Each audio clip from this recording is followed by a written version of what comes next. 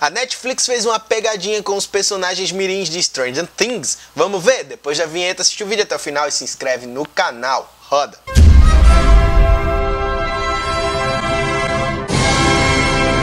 E aí, pessoas não pessoas, coisas e não coisas, geeks e não geeks, nerds e não nerds. Cara, Stranger Things, só é no que se fala, né? Primeira temporada irada, segunda temporada já chegando e essa turma te pegou de jeito te assustou bastante, principalmente aquelas crianças, né? O que é aquela menina que faz a 11? Mas não é disso que eu quero falar não. Eu quero falar para vocês que não só eles te assustaram, eles se assustaram também. A Netflix promoveu uma pegadinha para assustar a galera durante uma entrevista, coisas misteriosas acontecendo bem no estilo da série e também bem no estilo do programa do Silvio Santos, tá?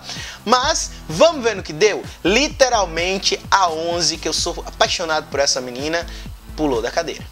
É, cara, pulou da cadeira mesmo. É, curte aí a pegadinha, compartilha, se inscreve no nosso canal e até a próxima e tchau. Cara, o que será que ainda vem pela frente nessa série? Coitado do Will. Scary. This happened on the show. This is like what happens. What happens during the show? Like the, Right. the Like what kind of radio stuff? flickers and then the lights turn Kind on. of like a feel of Okay, that scared me.